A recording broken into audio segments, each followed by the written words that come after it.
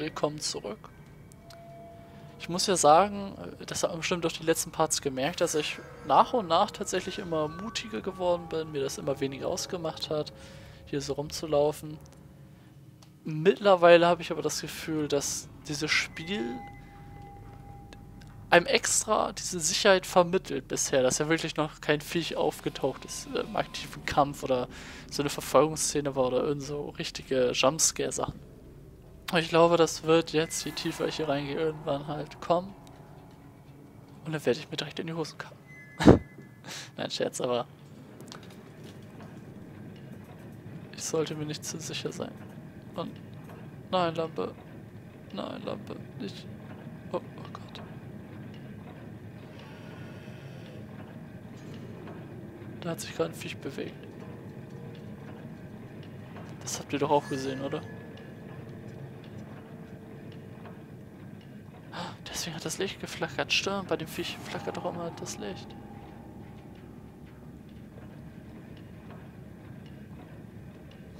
Oh mein Gott. Wisst ihr, was das bedeutet?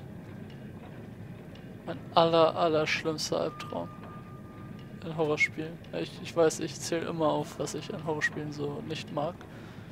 Aber das heißt, das Viech läuft hier aktiv vielleicht sogar rum und jagt ein.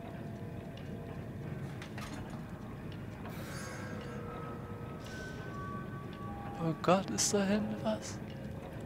Das Viech? Das etwas? Oh Gott. Das seht ihr doch auch, ne? Das ist ein Kind. Okay, ist das ein Balk? Ich habe ja vor diesem komischen Ding aus dem Bett immer noch richtig Schiss. Okay, also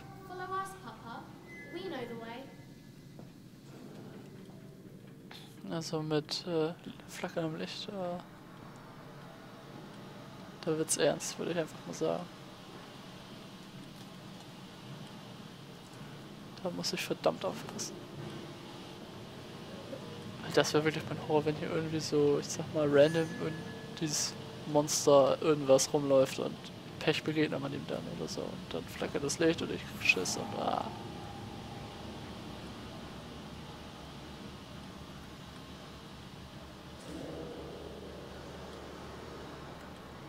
Das Sprung, ne?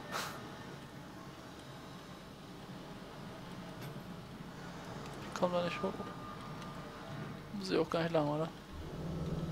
Nein, ist nicht. Hold still, for God's sake, hold still, child. Don't let it get into your eyes. I'm gonna rinse it out now. There. It will be fine. You just need to lie down. Enoch, look to your brother. How many times have I told you not to play in the cellar? Ja, Dude, dann hat man hier nicht so epische Maschinen. Dann wäre das auch nicht so interessant für Kinder. Ganz ehrlich. Und ich vertrete ja immer noch die Theorie, dass er hier ein mieses Massaker des Todes angerichtet hat und sich nur nicht dran erinnert. Durch Trauma, durch den Tod seiner Frau. Wir werden sehen. Wir werden auch sehen, ob ich überhaupt richtig bin. Kann doch sein, dass ich mich gerade hart verirre. Oh nein, ich glaube, hier war ich noch nicht. I told you he'd come. Ja, ich check. Okay, kann ich nicht. Ich würde erstmal den anderen Weg checken, aber... Oh Gott. Davor habe ich jetzt ja richtig Angst, ne? Wenn da hinten ein Viech lauert. Oder... Oh Gott. Oder Jumpscare. Wie ich das nicht ab kann. Extraordinary, quite extraordinary. And you built it all. Good God, man, you have been busy. It is wonderful how tragedy focuses the mind. What else was I to do? Fall into grief, pine and fade in my hopelessness? Why not then simply die in that jungle amongst those dead temples? Ja, aber ich würde sagen, nebenbei ist ein Psycho. Oh shit. Oh Gott, da ist doch. Entweder kommt da jetzt so, so, so Jauche raus oder irgendjemand lauert da.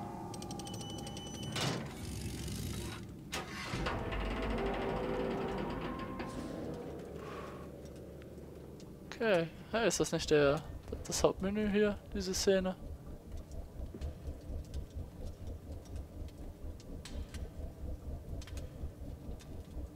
Hm. Sieht ja ganz nett aus.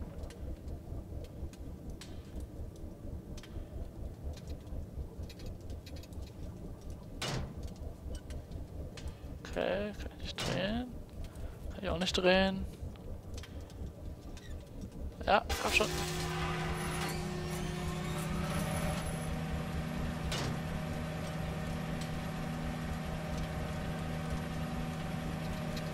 Okay, auch noch nicht. Ah, den erst. Ist dieses verkackte Gitter um mich. Gott, fahr ich da gleich noch tiefer runter oder was? Scheiße, will ich doch gar nicht. Will nicht runter. Was ist das hier für eine Abspritzanlage? Oh shit, Leute.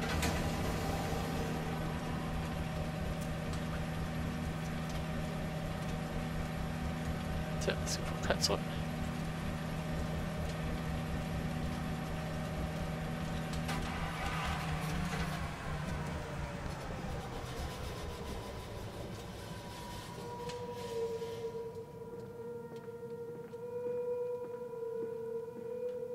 Ich erstmal Licht. Licht ist immer eine gute Idee. Habe ich eigentlich eine neue Notiz, die ich verpennt habe? Äh, nein, das habe ich beim letzten Part auch vorgelesen. Yay, Licht. Okay, keine Schubladen. Ah, hier. Was haben wir denn? Bestimmt irgendwo wieder eine geheime Notiz.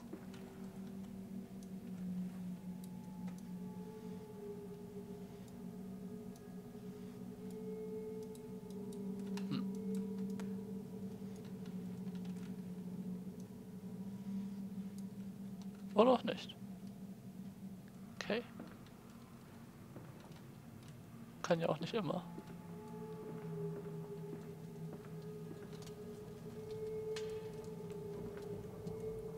Oh Gott. Oh Gott. Ja, er hat eine krasse Zukunftsmaschine gebaut für die Schweineverarbeitung. Beziehungsweise 1899, okay, da hatten die ja schon alles, ne? War ja gerade so ein bisschen im Kommen. Hat er wohl so eine richtig krasse Fleischverarbeitungsmaschine, mit der er reich wurde.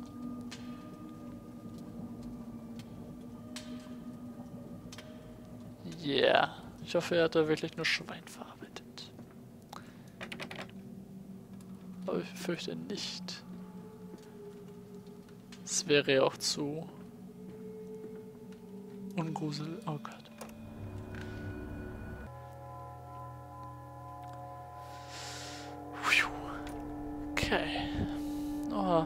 Ja richtig schön gebaut hier.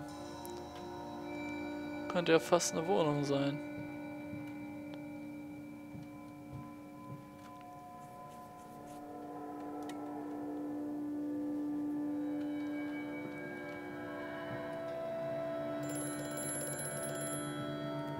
Das gute alte Telefon.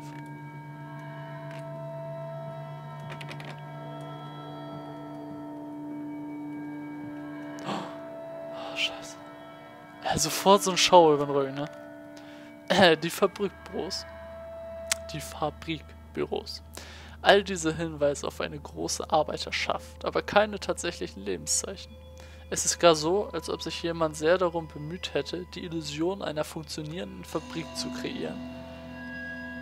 Aber wenn man diese Fassade genau studiert, erkennt man sie eindeutig als Fälschung. Dennoch, ich muss meine Ängste beiseite legen, das Unbehagen unterdrücken, das sich mir in den Magen gräbt und meinen Weg fortsetzen.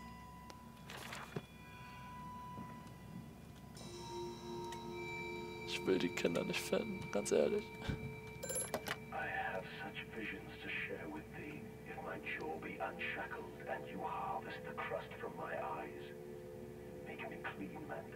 That my thoughts and words can unfouled be. Ja. Und ein Specht.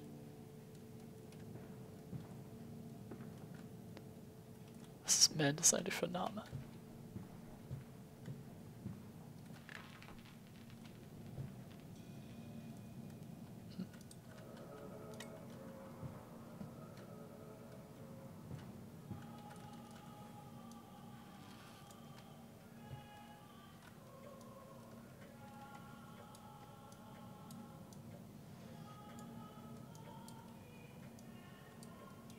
Noch mehr.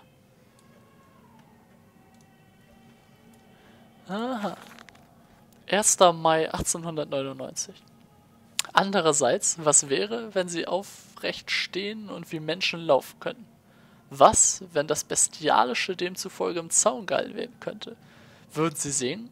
Würden sie ihren eigenen Gott finden? Ich habe diese Dinge gesehen und meine Antwort lautet ganz klar: Nein. Nein, würden sie nicht.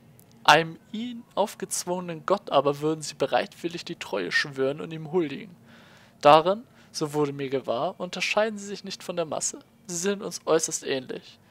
Ist diese irreversible Schwelle erst einmal überschritten, werden unsere Fesseln zu eng und wir müssen freigesetzt werden. Zum Befreien der Menschheit zerschneiden wir die Menschen. Zum Überwinden dieser großartigen Entwicklungsgeschichte muss sie zuerst auf den Boden gemalt werden. Was? Ähm, ich lese daraus irgendwas Spezialisches. Vielleicht diese wiederauferstandenen Menschen. Die haben wir bisher gehört, dass es irgendwie es möglich ist, Leute wiederzubeleben. Und warum muss man Menschen zerschneiden? warum ist das denn hier eine Fabrik für die Fleischverarbeitung? Gefällt mir alles ganz und gar nicht.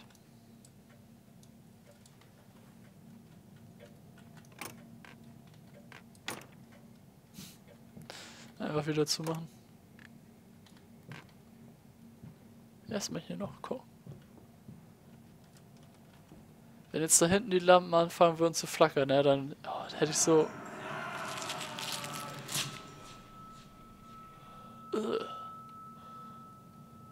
Okay. dann hätte ich so Schiss und das hat mir jetzt auch gerade ein bisschen das Blut gefrieren lassen. 22. August 1899. In Amerika sprechen sie davon, ihre Städte bis in den Himmel zu bauen. Das erscheint mir dann doch etwas töricht. Vielleicht aber ist das bei Nationen einfach so, die ohne eigene Geschichte gegründet wurden. Wir hingegen wandeln auf unseren Geschichten. Sie sind in den Leben unter unseren Füßen komprimiert. Davon haben die von uns erstellten, eingestellten Ingenieure gesprochen. Sie erzählen, wie sie beim Bau der U-Bahn oft auf ältere Tunnel stießen, die kreuz und quer unter der Hauptstadt verlaufen. Welche Paläste wohl unter uns begraben liegen? Wir graben und graben immerzu und eignen uns das Gefundene wieder an. Im Mittelpunkt des Planeten, so erzählt mir mein Architekt, befindet sich eine große Eiskugel, das Ei der Welt.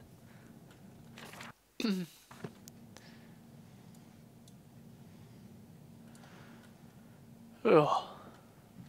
Lassen wir das einfach mal so im Raum stehen.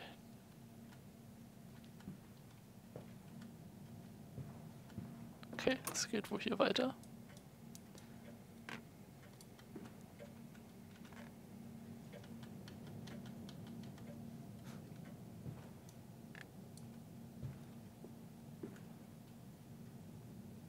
Okay, und wieder einmal diese gute alte Geschichte mit dem Spiegel, den ich spiegel und wo man durchgucken kann. Mit Glück bin ich demnächst auf der anderen Seite und sehe hier irgendwas abgefucktes. Bestimmt eine Blutspur hier lang oder. Oh Gott, ich will es gar nicht wissen. Aber ich werde es demnächst wissen. Und eigentlich möchte ich doch wissen, wie es jetzt ausgeht. Oh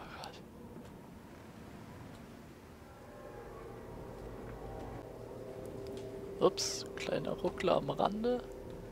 Und eine neue Notiz. 11. Oktober 1899. Zur Bändigung des Produkts, noch vor der Initiierung des Vorgangs, wenden wir das neueste chemische Wissen in Form niedriger Dosen eines Laudanum-Derivats an. Dies bedeutet, dass wir sie aus ihren Käfigen in eine Reihe schleifen. Oh, scheiße. denn so geraten sie mit geringerer Wahrscheinlichkeit in Panik und beschädigen Maschinenkomponenten, andere Produkte oder sich selbst. Dieser Förderbandabschnitt ist gummibeschichtet und wird zur Beibehaltung guter Laune entsprechend beleuchtet. Wir haben außerdem herausgefunden, dass die strategische Platzierung von Grammophon und einfachen akustischen Verstärkerröhren um die Reihe herum die Beruhigung des Produkts mittels Musik ermöglicht. Debussy, Debussy erachten wir diesbezüglich als besonders effizient.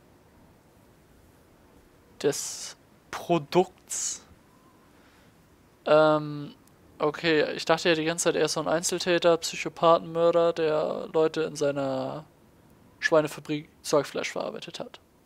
Wäre legitimer Horror gewesen, ne? Alles cool.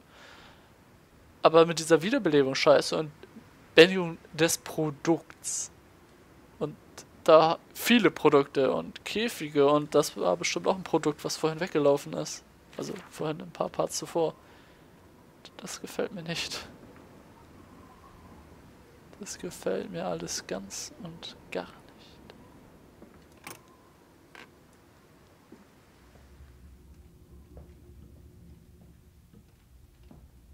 Warnung. Treibstoffpumpen. Flüchtige Chemikalien. Diese Materialien sind hoch, höchst ätzend. Schutzkleidung ist Vorschrift. Äh, ich sehe jetzt mal meine Beine nicht, aber ich schätze mal, ich habe keine Schutzkleidung. Aber ich glaube, das ist auch mein geringstes Problem. Gott.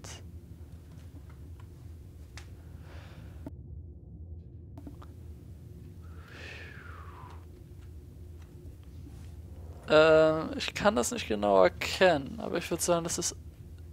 Das sieht so aus wie dieses Viech, was weggelaufen ist. Oder sind das nur Schweinekadaver? Dann wäre die nächste Frage. Oh, scheiße. Dann wäre die nächste Frage, warum muss ich da hin? Okay, es sind nur Schweine, wie es aussieht. Ich glaube nicht, dass die das... Oh Gott, warum kann ich das nehmen? Das Spiel ist schon ein bisschen krank in dieser Situation gerade. Äh. Bisschen unnötig, dass man das aufnehmen kann.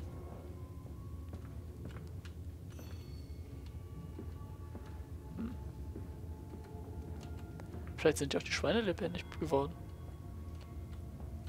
Oh, eine Notiz. Oder eine, eine, ein Gedanke, was auch immer. Pumpwerk. Dies scheint eine Art Tankstelle zu sein. In den Fabriken von Herrn Jaham oder Jaham und Herrn Simmen habe ich schon Automobile gesehen, aber der Geruch hier passt überhaupt nicht. Das ist definitiv kein Rohbenzin, da bin ich mir sicher. Alle Zeichen deuten darauf hin, dass diese Maschine auf irgendeine Weise sehr bedeutsam sein muss. Ja, wirklich, Sherlock. Und Tagebuch ist das, okay. Warnung, achso, das habe ich schon. LKW-Tankstelle. Na, drehen wir das Ding einfach mal auf. Können wir nicht. Das sieht mir auch nicht normal aus, das Zeug. Ich weiß ja nicht, wie so Treibstoff aussieht, aber nicht so, schätze ich. Auch damals nicht. Um 1900 irgendwas rum. Ich schätze mal, es ist 1900, weil die ganzen Notizen und alles, was man findet, ist von 1899. Es ist naheliegend, dass das knapp ein Jahr später ist. Mindestens.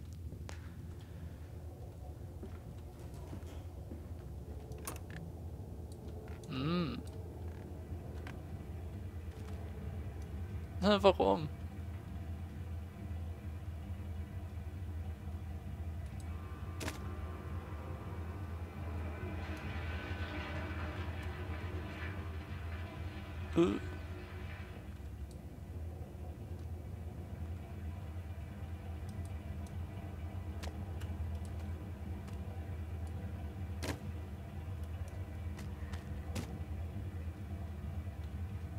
Hätte sein können, dass ich das machen muss.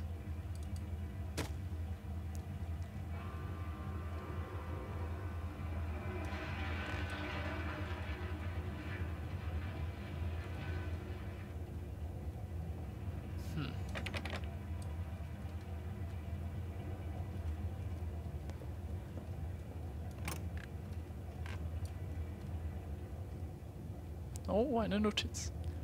Ich glaube, mit der Notiz beende ich diesen Part dann nochmal. Wird langsam ziemlich creepy. Ja, okay. Das ist wirklich das Letzte, was ich heute vorlese. 28. September 1899.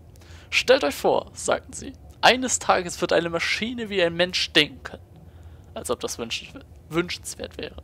Fast könnte man damit prahlen, einen Menschen geschaffen zu haben, der sich wie ein Schwein vermehrt.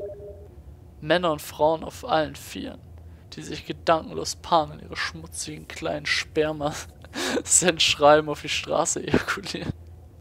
Die Gassen und Gossen quellen fast über vom stumpfsinnig verspritzten Produkt ihrer Vereinigung. Die Luft schwer mit ihrem lustvollen Gewimmer. Körper überströmen mit ihren eigenen Absonderungen. Wir haben eine Welt geschaffen, in der Männer derart minderwertig sind, dass sie Passanten mit ihrem Samen besprühen. Okay, okay. Und dennoch ist dies der Zustand, den Babbage anstrebte. Tja, Babbage. Kranker Typ. Nein, dies ist nicht die Maschine unserer Vorstellung. Solch ein Wesen sollte nichts weniger als eine Gottheit sein, und wir würden vor ihm auf die Knie fallen und ihm huldigen. Wir sollen Götter und nicht, äh, wir sollen Götter nicht zum Streiten und zum Unzuchttreiben schaffen. Vielmehr werden sie existieren, um die Welt zu reinigen und uns zu befreien. Ich lehne Babbage ab, wie ich diese Regierungsmänner ablehne. Sollen die Schweine doch so lange in der Gosse kopulieren, wie sie möchten, denn schon bald werden wir sie uns greifen und ihnen ihre Himmelfahrt erleichtern. Alter, die ganze Stadt ist irgendwie hart abgefuckt, kann das sein? Diese Maschine, was, was kann die, was macht die? Und all diese Fragen vielleicht im nächsten Part. Bis dann.